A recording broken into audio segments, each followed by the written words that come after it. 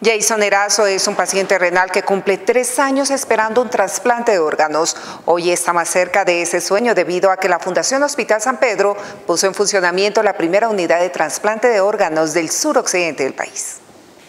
Después de un largo proceso administrativo que inició en el 2017, el Ministerio de Salud avaló a la Fundación Hospital San Pedro el funcionamiento de la unidad de trasplantes. Mm, me parece pues algo bueno porque o sea, ir a otra parte es como también difícil y, también hay gente que por eso no, no, hace, o sea, el protocolo y los papeles.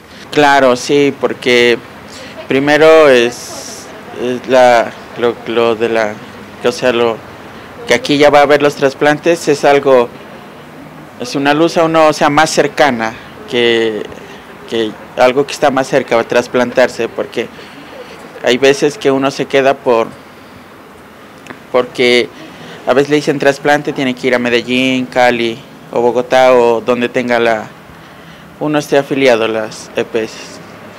Y a veces es duro o, también uno se pone nervioso. Y aquí, en, si ya está aquí, ya uno se siente más seguro.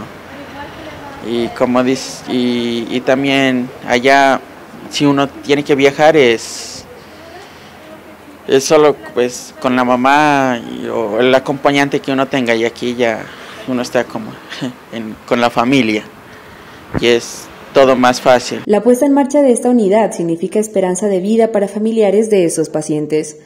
Agradezco al equipo que estuvo trabajando, a la doctora Andrea.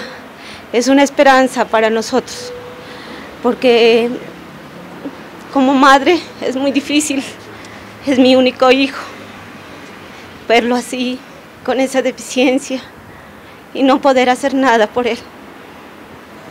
Eh, y, eso es no solo para mí, yo he visto muchas madres porque yo vengo todas las veces a las terapias de él. Pues yo también pido para las personas que puedan donar esos, esos riñones, que puedan dar vida a otro, que ayuden porque es necesario. Es, si uno lo puede hacer es dar vida y dar una oportunidad. Todas las personas tienen un derecho a, a vivir y a tener una vida diferente, porque estar en la máquina, estar en esto es muy duro. En la región hay aproximadamente mil pacientes en terapia de recambio renal, de los cuales un 30% podrían ser candidatos a trasplante de órganos.